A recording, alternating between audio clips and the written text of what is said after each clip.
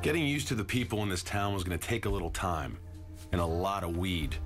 and a lot of weed, and a lot of weed, and a lot of weed,